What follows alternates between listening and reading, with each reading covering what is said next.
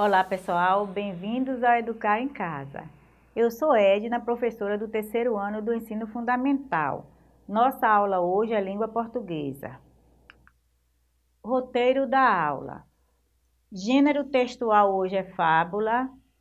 Trabalhando o texto, a raposa e as uvas. A gramática são sinais de pontuação, tipos de frases. Trabalhando a ortografia, as, es, is, os, os. Aí veja só, você conhece uma fábula? Já ouviu alguém a leitura de alguma fábula ou já leu alguma fábula? Sabe o que é uma fábula? Vamos ver. Fábula é uma narrativa imaginária, geralmente curta, que transmite um conselho, um ensinamento, que nós chamamos de moral da história. Os personagens quase sempre são animais que apresentam características humanas. São animais que falam e agem como humanos. Aqui está o texto: A raposa e as uvas. Morta de fome, uma raposa foi até um vinhedo, sabendo que ia encontrar muita uva. A safra tinha sido excelente. Ao ver a parreira carregada de cachos enormes, a raposa lambeu os beiços. Só que sua alegria durou pouco. Por mais que tentasse, não conseguia alcançar as uvas. Por fim, cansada de tantos esforços inúteis, resolveu ir embora, dizendo: Por mim, quem quiser essas uvas pode levar. Estão verdes, estão azedas, não me servem. Se alguém me desse essas uvas, eu não comeria. Moral da história: desprezar o que não se consegue conquistar é fácil. Né? Então, ela não falou muito a verdade, né? Ela desejava muito as uvas, mas não conseguiu. Compreendendo o texto. O que a raposa foi fazer no vinhedo? Vocês lembram? O que será que ela foi fazer lá? Foi passear? Foi admirar? O que será que ela foi fazer? Vamos ver. Ela foi pegar uvas. Ela conseguiu o que pretendia? Ela conseguiu pegar as uvas? Não conseguiu. As uvas estavam muito altas, né? No local muito alto. Qual foi a justificativa da raposa no final da história? Ela afirmou que as uvas estavam verdes, azedas e que não serviam. Sinais de pontuação. Os sinais de pontuação são sinais gráficos que aparecem nos textos. Observe que existem frases que, podemos, que podem ser identificadas pelo sinal de pontuação que nelas aparece. Então, é, tem inúmeras frases. Aí você vai olhar para o ponto que aparece no final da frase. Aí você vai perceber o tipo de frase que aparece ali no texto, né? Ou as frases soltas mesmo. No caso do ponto final, ele aparece no final de frases tanto afirmativas como negativas. Por exemplo, nessa frase aqui, a raposa foi até o vinhedo. É uma afirmativa. No final dessa frase, nós temos o ponto final. Se eu tivesse aqui, a raposa não foi até o vinhedo. Então, essa palavra não já é uma frase que está determinando que a frase é negativa. Mas o ponto final também aparece na frase negativa, tanto na afirmativa como na negativa.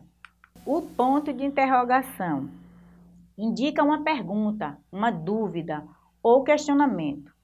Então, toda vez que você vai escrever uma frase interrogativa, um questionamento, você vai usar no final dessa frase o ponto de interrogação.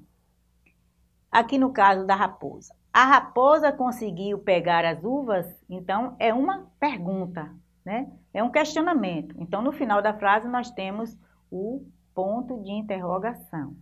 Aqui, o ponto de exclamação. Ele indica um sentimento de admiração, surpresa, alegria, dor. Observe. E não é que ela desistiu mesmo? Então, assim, é uma frase que está indicando admiração, né? ela devia ter tentado mais, mas é, não é que ela desistiu? O travessão, ele é usado em um diálogo e indica a fala de alguém. Aí nós temos aqui o travessão e a frase. Você pode comer as uvas, querida. Então, aí alguém está afirmando para a pessoa que ela pode comer as uvas, ou até para a raposa, né?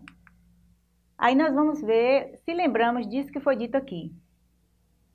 Numere a segunda coluna de acordo com a primeira. Aí nós temos aqui frase afirmativa, frase negativa, frase exclamativa e frase interrogativa. E na outra coluna nós temos as frases. Vejamos. As uvas estão saborosas? Então, essa frase indica o quê? Um questionamento. Qual é, a, qual é o nome dessa frase? Qual é a classificação dessa frase? Vamos ver. Então, ela é uma frase interrogativa. Por que, que eu sei disso? Porque lá no final da frase, o ponto está indicando, né? O ponto de interrogação está indicando que aí é uma pergunta, um questionamento. A raposa desistiu de pegar as uvas. Vamos ver que frase é essa, observando o ponto lá no final da frase. Vejamos. É uma frase afirmativa. A raposa não comeu as uvas. O ponto é igual, né? Da frase anterior. Então, mas tem uma palavrinha ali que também define que frase é essa. Vamos ver. Então, é uma frase negativa, porque ali na frase aparece a palavra não, negando, né? E a última que sobrou é uma é que tarefa difícil. É uma frase exclamativa. Ela exprime admiração. Leia observando as letras destacadas. As, es, is, os, os. Nesse poeminha, nós vamos observar algumas palavras que têm sílabas em destaque. Essas sílabas as, es, is, os, us. Me vi no espelho, es, com os teus olhos, os, para saber como me vês. Aí nós temos nesse, só nessa estrofezinha aí, espelho, olhos e vês. A menina magra de sardas afasta os cabelos da testa e ri.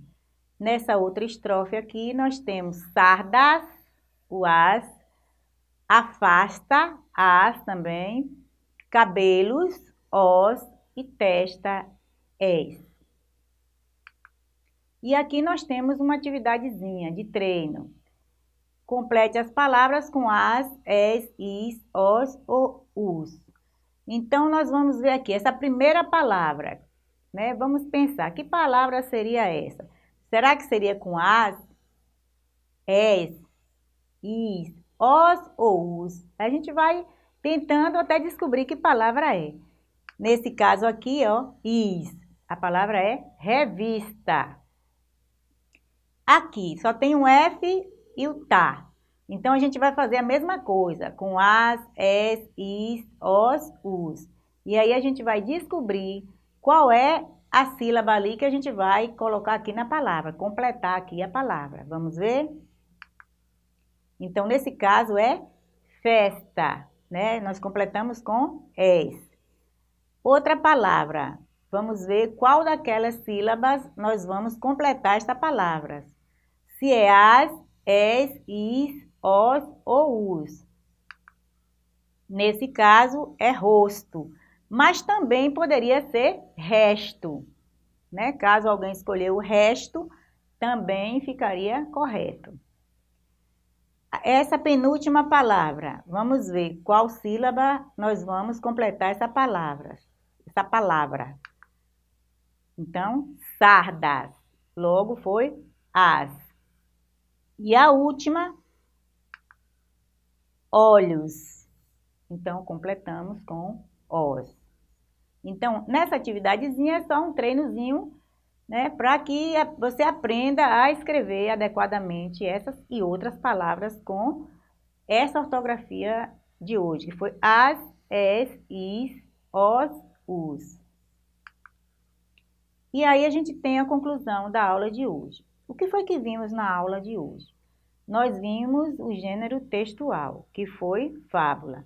Na fábula, nós vimos que as características de uma fábula é que os seus personagens são animais com características humanas e que no final dessa história tem um ensinamento, um conselho, que nós chamamos de moral da história. Sinais de pontuação, nós vimos o ponto final, que pode ser usado tanto na frase afirmativa como na negativa.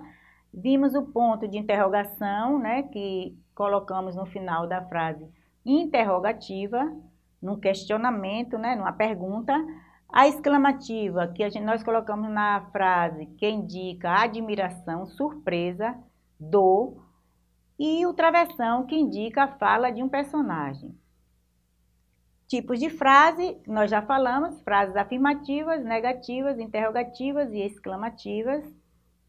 E a ortografia as, es, is, os, us.